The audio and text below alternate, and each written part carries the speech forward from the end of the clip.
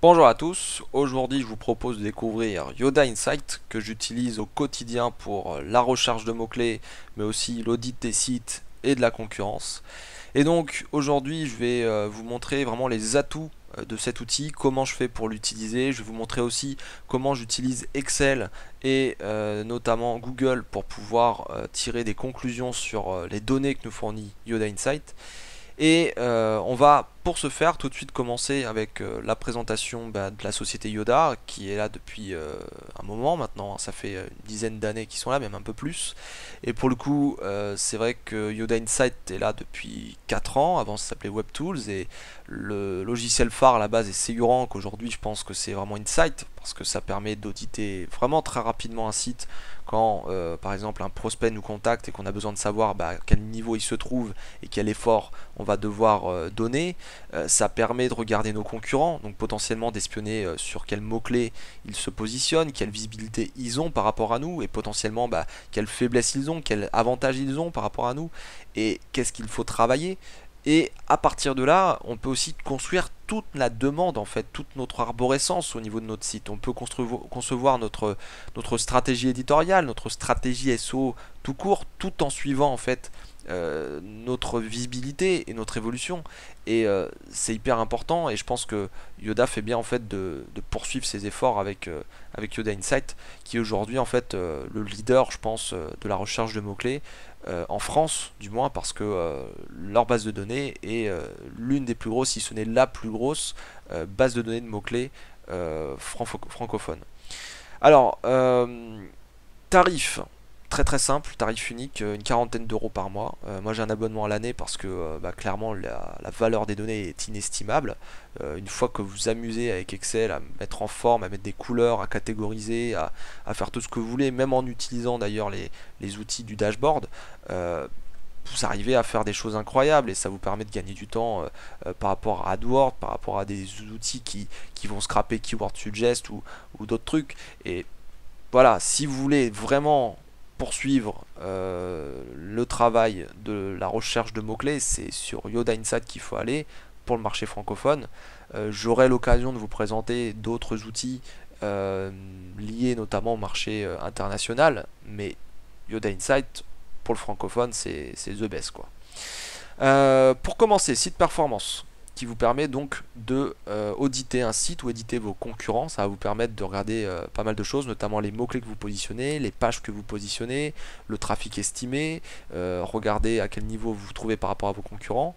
Market Explorer, ça vous permet de rechercher une expression de recherche euh, et puis de voir ce qui est proche de cette expression de recherche et de regarder le volume de recherche, la concurrence AdWords, le CPC, euh, euh, le nombre de résultats dans l'index Google et vous avez l'indicateur de proximité qui vous dit donc si vous êtes proche ou pas de cette requête ou quelle requête est proche de cette expression que vous avez tapée mais ça vous permet de creuser des sujets, de voir aussi comment catégoriser, de voir si clairement là vous avez fait un bon ciblage ou pas.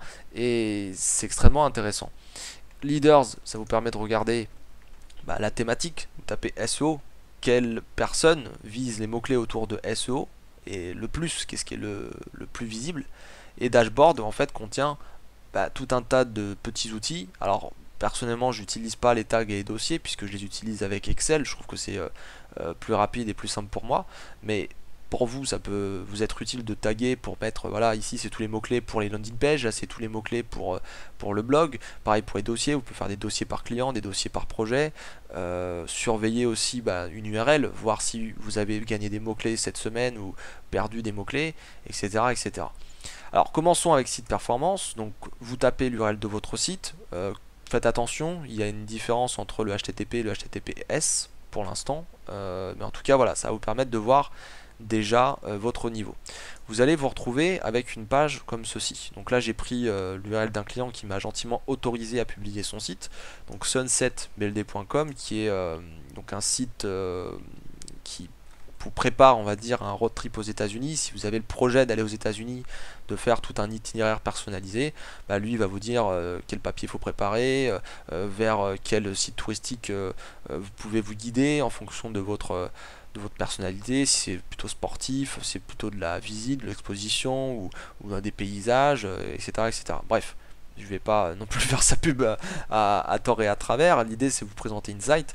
Mais en tout cas, euh, ce client il revient de loin euh, parce qu'il a été créé en 2005 et c'est vrai que quand il m'a contacté c'était en 2015 et euh, il travaillait toujours avec des includes PHP des fichiers HTML avec un petit forum à côté PHP BB et il continuait en fait à, à, coder ses pages une par une alors qu'il devait se focaliser sur l'éditorial et à rédiger des contenus, des guides, etc. Et je lui ai dit voilà, déjà ton design il est trop vieux maintenant, il fait 3 années 2000, il faut que tu le modernises. Et puis derrière, il faut que tu travailles ton éditorial, il faut que tu travailles ton profil de lien, et il faut surtout que tu changes de technologie, que tu passes sur un truc comme WordPress qui va te permettre de produire beaucoup plus de contenu et d'aller beaucoup plus vite et de focaliser sur faire vivre ton site. Mais faire vivre ton site pas simplement en codant et, en attendant que les rédacteurs rédigent. Euh, vraiment, il faut que tu t'y mettes à rédiger et que tu remettre euh, vraiment ton rôle au, centre du site et tu te dises voilà là il faut que je rédige du contenu. Bref, tout ça pour vous dire que euh, en 2015, vous voyez, il était assez stable depuis euh, quelques années. bon là il y a eu une mise à jour d'Insight, mais vous voyez que on a eu une progression dès qu'on a commencé à sortir des nouvelles pages, quand on a commencé à travailler le site, quand on a commencé à faire la refonte, à changer de, technologie. là, on a eu quelques petits problèmes techniques, mais vous voyez que c'est pour ça que j'ai pris cette, euh, courbe, c'est que on voit bien euh, la stabilité dans le temps, on voit l'historique, on voit des choses qui ont pu peut-être se passer ici, notamment là c'était des, problèmes aussi je crois techniques, et euh, vous voyez que dès qu'il y a quelque chose qui se passe au niveau de votre visibilité, là c'est le nombre de, mots-clés qui se positionnent en première page, bah, si vous avez un problème technique, et que vos pages disparaissent ou qu'elles sont en erreur, ou par exemple vous avez oublié de rediriger des pages, ou si vous avez une pénalité, ou si vous avez euh, un feed qui vous est passé dessus, ou je ne sais quoi, bah, potentiellement, vous allez le voir sur une courbe comme ça. Ça va chuter, ça va descendre progressivement. Et pareil dans l'autre sens, ça vous permet de voir le suivi SEO. Dès que vous sortez des nouvelles pages, dès que vous ciblez, vous faites des actions, bah, potentiellement, ok, est-ce que je suis monté là ou est-ce que je suis descendu? Donc ça vous permet de capturer une info très importante qui est euh, la mesure en fait des statistiques euh, dans votre process de SEO. Lorsqu'on fait du SEO, on a un problème, euh, on regarde la globalité du problème, comment on peut le résoudre, on choisit la solution, on met en place la solution, on valide la mise en place de la solution, qui est généralement fait par le consultant. Ensuite, on demande la mise en prod, on vérifie encore une fois que ça a bien été euh, mis en prod, etc. Puis ensuite, on mesure l'efficacité de cette action, et à partir de là, on se dit, est-ce que on a évolué dans le bon sens ou dans le mauvais sens, ou est-ce qu'on est stable? Si on a évolué dans le mauvais sens, bah, soit on essaie de revenir en arrière ou de corriger, soit on se dit bon bah là il y a autre chose. Si on évolue dans le bon sens, bon bah ok, là on a une action qui a réussi, bon bah on continue et on va sur l'action suivante. Il faut y aller étape par étape avec un moteur. Et pour le coup, des logiciels comme Yoda Insight ou comme d'autres hein, vous permettent quand même de voir la visibilité.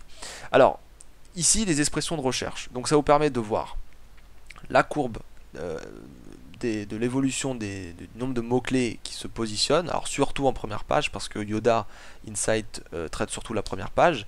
Ça vous permet ici de euh, comparer avec vos concurrents. Alors faites attention parce que vous pouvez avoir des concurrents directs mais aussi des concurrents indirects. Ça arrive souvent d'ailleurs dans le domaine du médical parce que euh, en fait vous pouvez vendre un produit, essayer de vous positionner sur des produits, mais vous avez parfois des sites éditoriaux qui vont empiéter sur vos plates-bandes parce que en gros eux font de l'éditorial, ils vont expliquer ce qu'est le médicament, etc.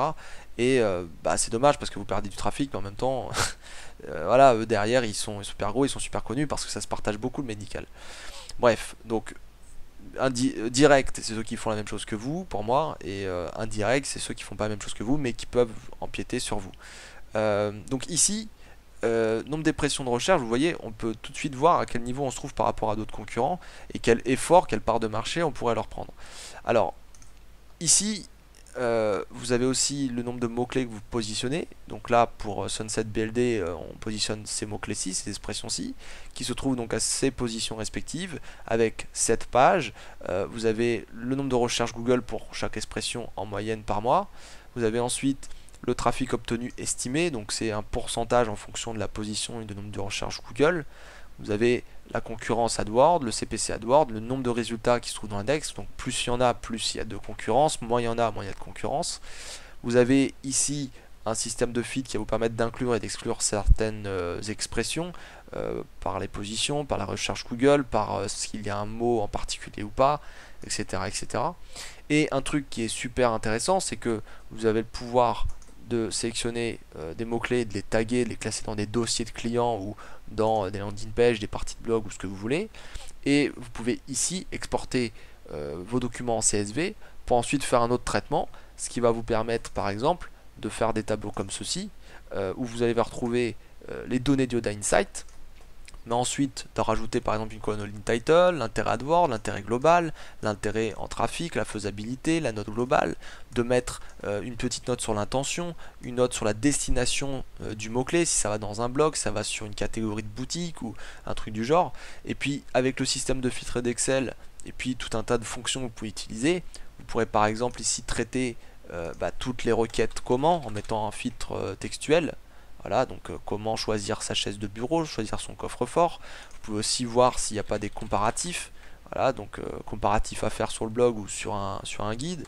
Ou vous pouvez voir s'il y a de la localisation, par exemple Paris, souvent qui est une rue qui est souvent une ville qui est souvent tapée. Donc voilà, aménagement bureau Paris, quelqu'un veut de la localisation, une entreprise à côté de chez lui. Donc là, il y a des stratégies en fait à déduire, euh, des guides, des peut-être des, parties de sites à faire et c'est super intéressant. Et euh, en mettant en forme avec les couleurs, tout ça, vous pouvez vraiment voir si euh, c'est ce mot-clé là que vous devez cibler ou pas. Vous ne devez pas tous les choisir, mais du moins choisir en fonction de vos objectifs, de ce que vous vendez, de ce que vous faites, en fonction de si c'est difficile ou pas, et prioriser tout simplement. donc voilà comment j'utilise moi Yoda Insight pour, déjà euh, cette partie expression de recherche, ça me permet de voir dans quel état je me trouve, ça me permet d'exporter euh, mes données et de voir mes atouts, mes faiblesses, etc. Et de potentiellement voir ceux de mes concurrents pour euh, bah, réagir par rapport à ça. Et puis ensuite, je peux passer donc sur les différentes fonctionnalités, page positionnée, qui vous permet de voir ben, en fonction des pages que vous sortez si euh, bah, ça se positionne, euh, combien j'en ai qui se positionnent, voir si on n'a pas le problème de la page d'accueil ou d'une page qui euh, récolte trop de mots-clés et donc qui ferait l'effet mettre tous ses œufs dans le même panier.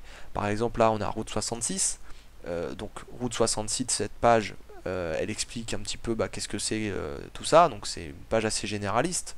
Euh, le problème de ce site, c'est qu'il a fait à l'époque des pages assez longues et euh, il fallait peut-être les segmenter ou poursuivre la discussion via d'autres pages. Et c'est vrai que là, on positionne pas mal de, de, mots-clés. Et là, l'idée, ça serait peut-être de poursuivre la discussion en faisant d'autres pages à côté annexes. Euh, combien d'états traversent la route 66 Ça peut être une question auquel on pourrait répondre pour se positionner plus haut et avoir une page véritablement précise là-dessus. Euh, après, vous avez la distance, vous avez, euh, je sais pas, les villes principales, vous avez euh, le trajet, Chicago, enfin, vous avez plein de choses à faire en fait autour de la route 66. Ça vous permet de voir potentiellement si vous pouvez pas segmenter, essayer d'éclater un peu le, votre arborescence. Vous avez tous les systèmes de filtres qui se trouvent ici, vous les trouverez un petit peu partout, vous pouvez les exporter aussi. Donc là, plutôt intéressant. trafic SEO, ça vous permet de voir ben, comment évolue votre trafic. Donc là, je vais peut-être enlever les concurrents. Euh, tac et tac, euh, voilà, hop. Donc là, on voit que on est plutôt à une tendance croissante, donc euh, plutôt intéressant. ici, vous avez les concurrents, donc les concurrents qui ont le plus de mots communs avec vous. Donc vous avez un indice de rivalité avec un nombre d'expressions positionnées par concurrent, etc. Vous pouvez faire aussi un site versus concurrent, ce qui va vous permettre euh, de voir bah, quels sont les mots-clés en commun que vous avez, les mots-clés exclusifs à votre site, les mots-clés exclusifs à votre concurrent, les mots-clés qu'il a au total et les mots-clés que vous avez au total. Et ça vous permet de voir bah, quelle part de marché vous pouvez lui prendre, euh, potentiellement là où vous pouvez progresser, etc. etc. Toujours pareil, hein, export et, les filtres, etc. Donc ça c'est plutôt intéressant. Et ensuite vous avez le classement design sur 15 millions de, de sites qui sont dans l'index. Euh, sur à quel niveau vous vous positionnez. Donc là euh, c'est plutôt intéressant parce que vous pouvez vraiment essayer d'expionner vos concurrents, vous pouvez voir à quel niveau vous vous trouvez, donc ça vous permet de déduire pas mal de choses. Alors ça c'est j'irais une fonctionnalité d'audit euh, surtout euh, et euh, pour diagnostiquer en fait des problèmes, des pénalités, voir les efforts, etc. Maintenant, quelque chose que j'utilise temps, c'est Market Explorer. Market Explorer, c'est le logiciel qui va vous permettre de générer des tas de mots-clés à partir d'un seul. Donc par exemple, je tape consultant SEO, ça c'est le premier exemple. Je le tape parce qu'en fait, déjà, je le connais bien, mais vous voyez, consultant SEO, 2900 recherches en moyenne par mois, CPC 694, 900 000 résultats. Vous voyez qu'il y a un indice de proximité ici. Et l'indice de proximité est pour moi chez Insight l'un des plus aboutis parce que euh, sur d'autres outils on peut en avoir un, mais je trouve que c'est pas très, pas très fin encore. Euh, chez Insight je trouve qu'il est pas mal. Euh, consultant SEO, effectivement, si on regarde ce qui est à peu près proche, donc là on n'a pas un indice, un pourcentage qui est élevé, mais consultant SEO, consultant référencement, c'est déjà quelque chose qui est assez proche. Consultant SEO, référencement naturel, etc. Ça peut vous permettre de trouver des idées annexes à ce que vous avez tapé, ça vous permet de, creuser vraiment le, sujet, de trouver de nouvelles expressions clés à mettre peut-être dans votre texte, à mettre dans vos ciblages ou peut-être dans une autre page pour faire un nouveau ciblage. Mais en plus, si vous triez par nombre de recherches Google, vous pouvez voir qu'est-ce qui est le plus recherché. Si vous traitez par la concurrence, vous pouvez regarder bah, là où les gens mettent potentiellement euh, pas mal d'AdWords et ce qui est potentiellement commercial aussi. Euh, le CPC, vous pouvez voir bah, qu'est-ce qui coûte cher, qu'est-ce qui coûte pas cher euh, et qu'est-ce que mettent comme argent les gens. Et le nombre de résultats, quelle requête est concurrentielle ou pas du tout concurrentielle. C'est plutôt intéressant au niveau SEO vous avez toujours, pareil, le système de filtre. Vous pouvez inclure quelques mots-clés et faire le même travail que moi je fais sur Excel. Même si vous n'utilisez pas le système de tag, de dossier, etc. Encore une fois, euh, vous pouvez le traiter sur Excel ou l'utiliser, si vous le souhaitez, via le dashboard qu'on va voir juste après. Mais en tout cas, voilà, euh, consultant SEO, par exemple, vous pouvez aussi euh, taper des requêtes plus précises, par exemple recette, gâteau, choco chocolat voilà tac voilà ça recherche et ça va vous donner donc euh, le nombre de recherches 22 000 donc là c'est une bonne requête. Donc là on pourrait s'imaginer faire un site de recettes de gâteau au chocolat. Et puis ensuite regarder donc euh, quel ciblage je peux faire. Donc là peut-être on peut prioriser peut-être celle-ci 246 000 bon après c'est à voir. Euh, recette de gâteau au chocolat, voilà, chocolat facile. En cherchant un petit peu, on va tomber sur les recettes de gâteau au chocolat sans lait, sans gluten, sans œufs, euh, euh, sans farine, sans eau aussi. Bref, on a peut-être des requêtes intéressantes. vous pouvez classer, chercher. moi, la, chose que je fais généralement, c'est que je discute avec mon client je regarde ce qu'il me dit, j'essaie de relever les mots-clés qu'il me dit dans, ses phrases, j'essaie de faire un brainstorming avec lui, j'essaie de faire les personas, de faire la carte d'empathie, j'essaie d'étudier mes cibles, etc., de voir qu'est-ce qu'elle pourrait taper. Je tape ici, je creuse, je regarde les mots qui sont similaires et j'exporte tout en CSV. Je me retrouve avec des dizaines de fichiers CSV que je fusionne et que je mets ensuite dans un fichier comme ça Excel que je vais ensuite trier par les filtres textuels, par euh, les couleurs, par euh, tout un tas de trucs pour catégoriser. je vais me retrouver avec les catégories locales, la localisation, les villes. Je vais regarder de l'autre côté ce que je peux mettre sur le blog, qu'est-ce qui est informationnel, qu'est-ce qui n'est pas informationnel, qu'est-ce qui est plus l'ordre de l'achat, qu'est-ce qui est plus l'ordre de l'investigation commerciale, de regarder les comparatifs entre les, les smartphones par exemple, ou euh, tel ou tel produit etc., etc., etc. Donc ça me permet vraiment de générer le maximum de mots-clés, d'avoir le, plus de mots-clés possible. Et vous voyez que ici, rien qu'en tapant recette de gâteau au chocolat, on en a déjà 2848. Donc ça fait quand même beaucoup de mots-clés. Et il suffit que vous les classiez, et là vous retrouvez euh, pas mal de choses. Un truc qui est euh, souvent une petite astuce que je donne à mes clients, pour même si, euh, encore une fois, on va pas aussi les meilleurs, mais quand on classe par ordre alphabétique, ça peut nous permettre de voir des déclinaisons, un peu comme sur Keyword Suggest. Euh, alors, faut faire attention parce que parfois c'est pas recherché, mais si vous faites une limitation du nombre de requêtes, etc., vous pouvez avoir des déclinaisons. Euh, recette gâteau au chocolat facile, fondant moelleux. Euh, ici, vous pouvez avoir bon dessert au chocolat, biscuit fondant chocolat, biscuit fondant chocolat, bon gâteau au chocolat fondant, bonne recette. Voilà, les cakes par exemple, vous pouvez avoir tous les types de cakes cake au chocolat facile et rapide, cake au chocolat facile et moelleux, quelques chocolats, je sais pas, Nestlé, chocolat noir, quelques chocolats Pierre Armé, quelques chocolats recettes rapides simples, bref, en vidéo, aux 3 œufs, etc., etc. Bref, vous avez des, idées de mots-clés et des idées donc de pages à faire, de contenu à faire, qui vont vous permettre de devenir euh, une référence parce que vous inonderez la thématique et vous ciblerez euh, donc pas mal de mots-clés dans votre thématique. Alors, bref, on va sortir de là. Vous avez troisième truc qui s'appelle Leaders. Leaders, ça vous permet, bah, on va prendre euh, consultant SEO encore. Quel est le leader dans consultant SEO donc là, Insight va regarder pour consultant SEO et l'univers consultant SEO, qui est ce qui obtient le plus de trafic? Donc là, c'est métier-internet.gouv, site pénalisé, etc. Donc vous avez euh, tout plein de référenceurs euh, potentiellement. Alors là, pareil, hein, c'est basé sur de la statistique. Donc c'est qui euh, récolte le plus de trafic. Maintenant, ça ne veut pas forcément dire quel est le meilleur consultant SEO. Ça ne veut pas forcément dire non plus euh, qui est-ce qui se positionne le mieux sur consultant SEO seulement, exclusivement, c'est vraiment tout l'univers consultant SEO. Donc faites attention parce que ça ne prend pas aussi, euh, par exemple, l'univers peut-être balise title, l'univers euh, audit SEO ou l'univers, je ne sais pas moi, SEO tout court. D'accord C'est vraiment consultant SEO et tous les mots-clés qu'on a vu tout à l'heure dans ma carte Explorer qui sont proches de consultant SEO. Donc consultant référencement, etc. Donc faites attention avec cet outil parce que parfois ce sont des concurrents directs, parfois indirects. Donc méfiez-vous. Euh, par exemple, euh, si je prends, euh, je sais pas moi, agence référencement, ou non, encore mieux, SEO pas cher. Je sais que j'avais travaillé cette requête, c'était assez drôle. Prenez SEO pas cher voyez, là vous avez IPAO, la fabrique de sites, Optimis.me, Waybe, euh, tout un tas de trucs, etc. Et euh, vous voyez qu'il y a plein ici de, sites, mais finalement vous allez vous retrouver avec des sites qui ne font même pas de référencement naturel. Vous avez des sites qui vont faire juste des articles pour traiter du SEO pas cher.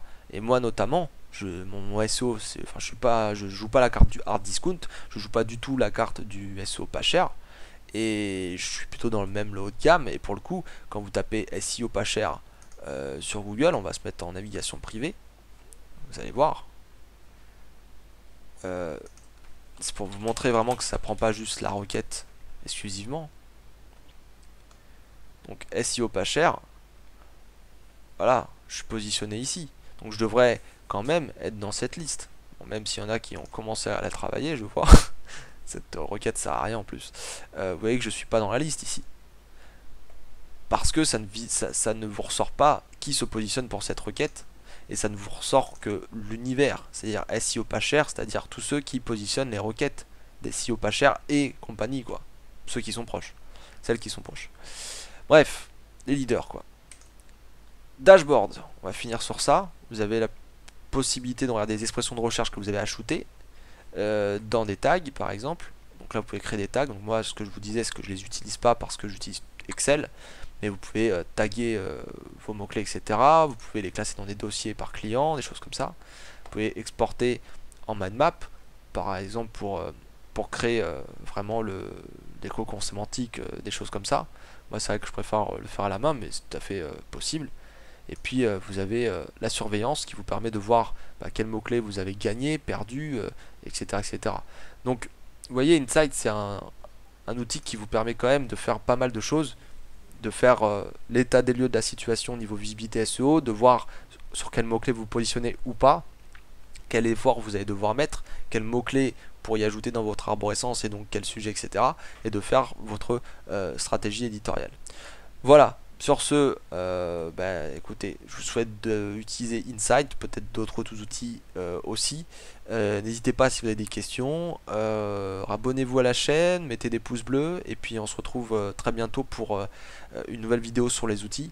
En tout cas, Insight, moi je valide. Allez, bye bye.